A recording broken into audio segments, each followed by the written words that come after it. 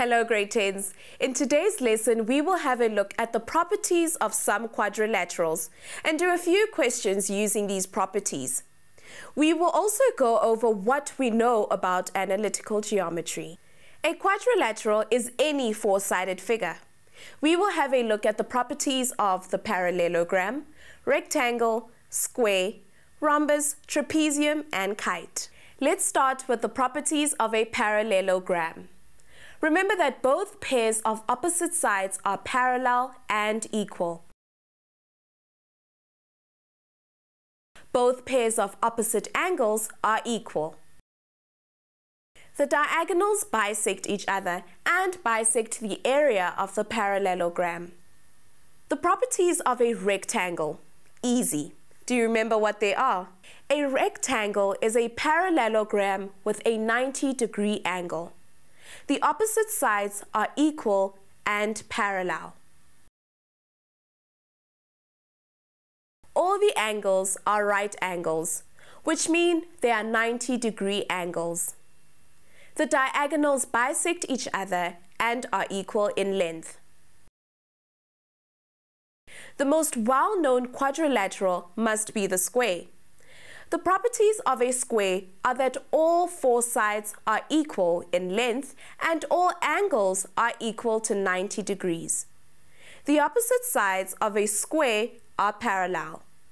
The diagonals bisect each other at 90 degrees and are equal in length. The diagonals also bisect the corner angles. Next, we'll have a look at the rhombus. This is often referred to as the squashed square. Adjacent sides are equal in length. The opposite sides are parallel.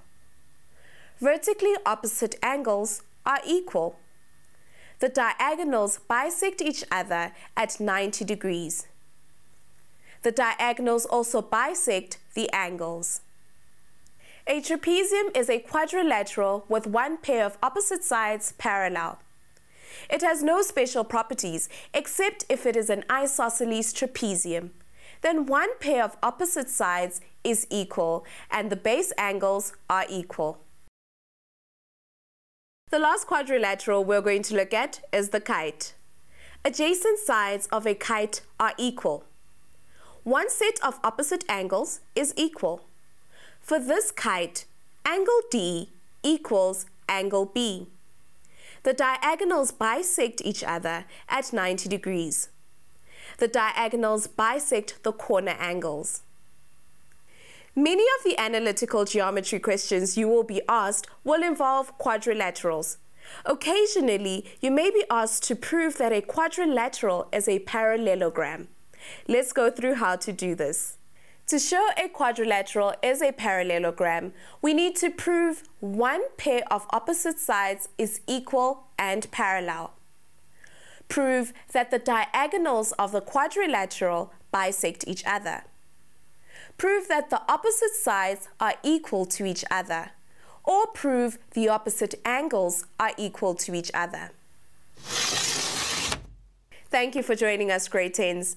Remember to look at the tasks for this section in the Introducing Analytical Geometry task video. You will also find more resources on our website www.mindset.co.za forward slash learn.